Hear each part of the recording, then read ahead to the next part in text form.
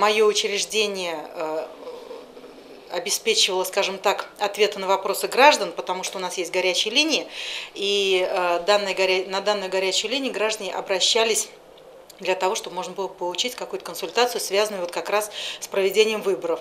Возможно, э, там время работы участков, куда можно обратиться и так далее.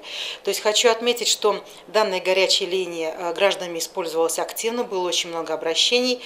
И, э, в общем-то, никаких жалоб по поводу того, что было нарушено их право, или они, допустим, были свидетелями нарушения права граждан, тоже выявлено не было.